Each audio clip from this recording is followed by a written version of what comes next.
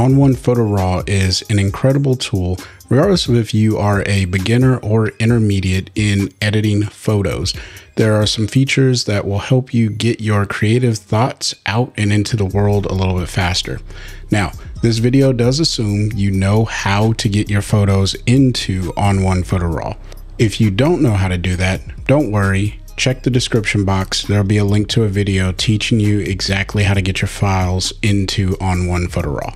Now, if you want to support this channel, consider using my coupon code FreeWillPhotos20 when purchasing anything over at the ON1 website. You'll save a little bit of money and I get a small commission at no extra cost to you.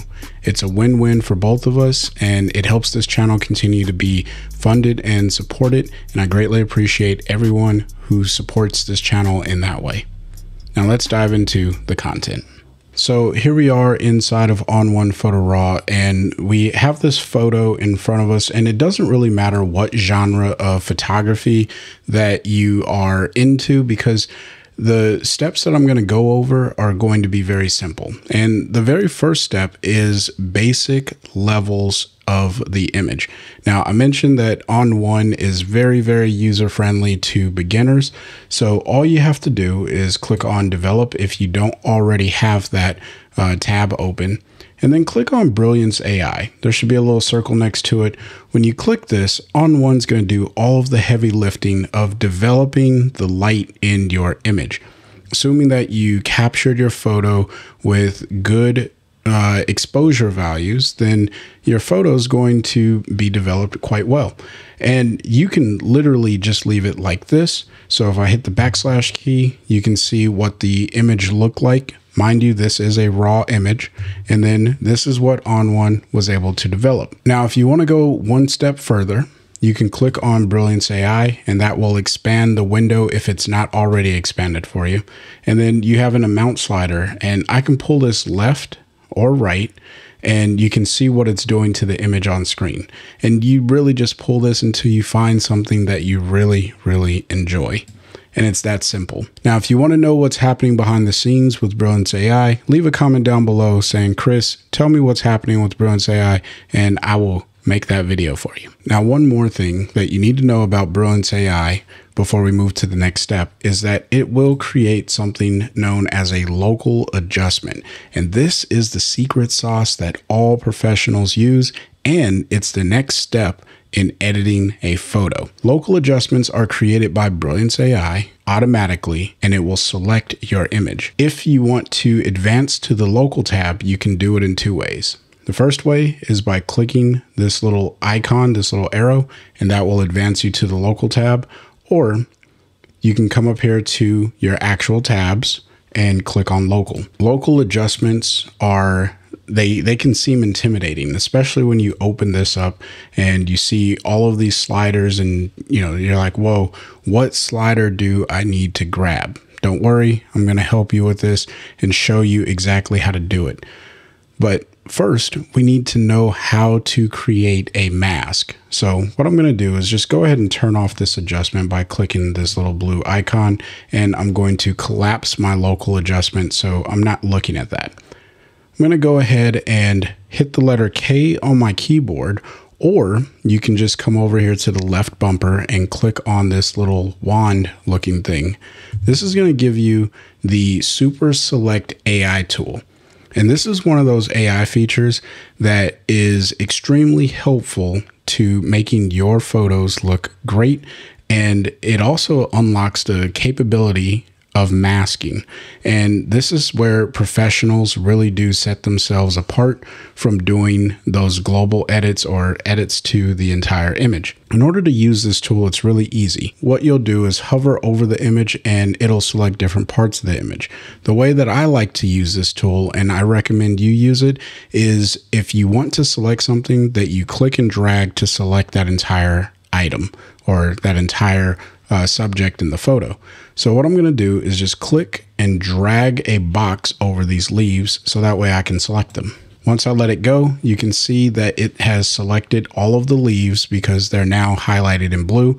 That means that I've created a mask over the leaves. The next step when you're using Super Select AI is you need to apply some sort of adjustment to it. The way that I like to do it is I like to right click and then click adjustment. Now, if you don't have the right click options enabled on your version of ON1, don't worry about it.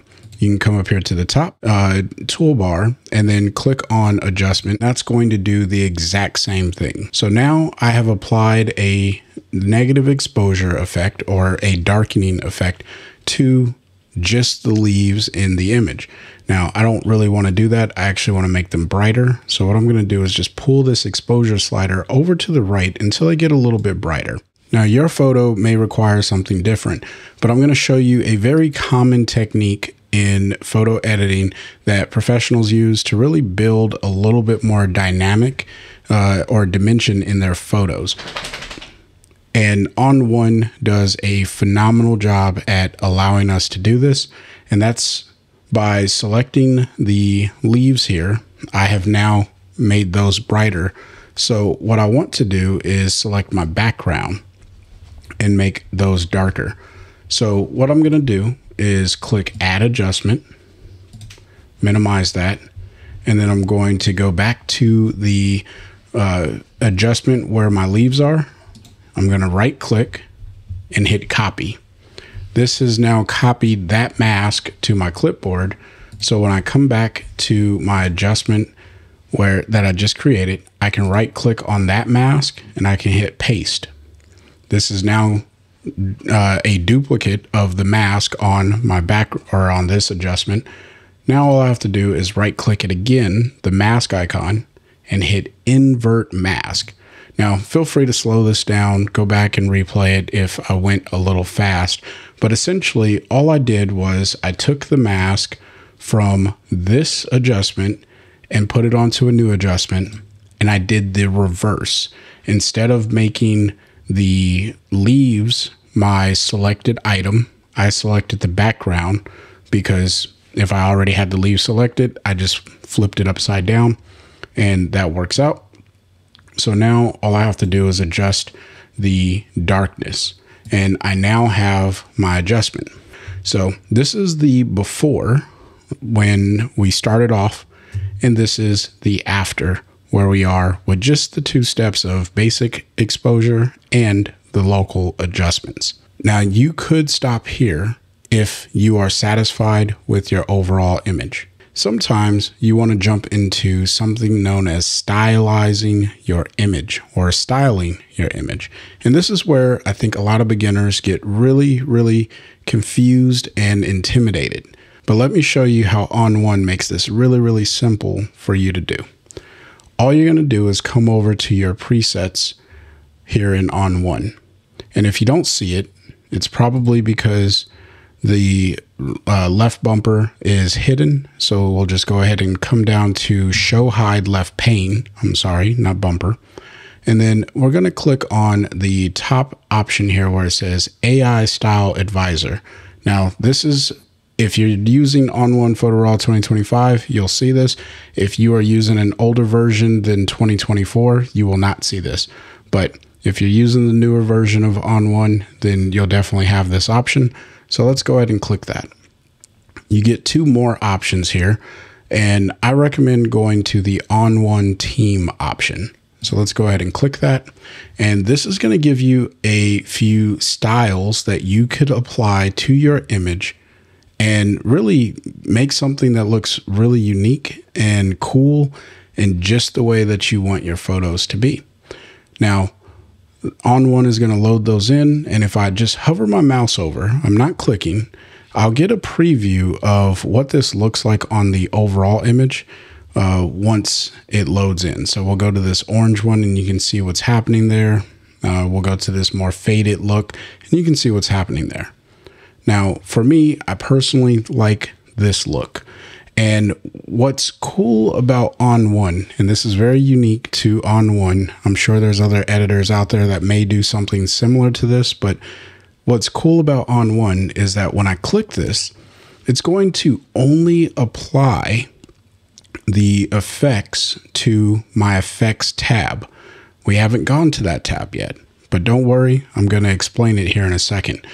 I get a dialog pop up because I haven't checked this box here. And this box is really just saying all of the effects that you have are about to be replaced. Now, I'm going to hit no just to show you I don't have any effects in my effects module. But let me come back over here to local and show you why this is so powerful. I just spent all this time creating the right light dynamic in my image. Effects is where I'm going to add a creative look to my image. I don't really want to modify the light anymore, uh, or I only want to modify the light in a creative way. So I'm going to go ahead and click this option here. We'll just hover off and then come back, click it so that way it applies. I get my dialog box here. I'm going to go ahead and check this because I don't need to see this anymore. I'm going to hit yes. I want you to continue applying these effects. And ON1 has now applied those effects over here to my effect stack. Now, you don't need to do anything with this. If you say, you know, that looks a little too harsh, I don't like the way that it looks on my overall image, you don't have to know what all of this is doing, okay? That comes a little bit later. This is just for getting a creative look on the image. When you're on the effects tab, you'll have something called opacity. If you just pull this to the left, it's going to start to bring back your original image. And it's going to add in all of these effects just a little bit to give your uh, image a little bit of a look and make it look really cool and creative. So if I hold down the backslash key, you can see what we started with and you can see what we've finished with. So the next step is to hit the blue check mark and then you can export your images. Now, if you don't know how to do that, go ahead and click the video on the screen now so that way you can learn exactly how to export your images. Until next time, I want you to stay inspired and keep creating. Peace.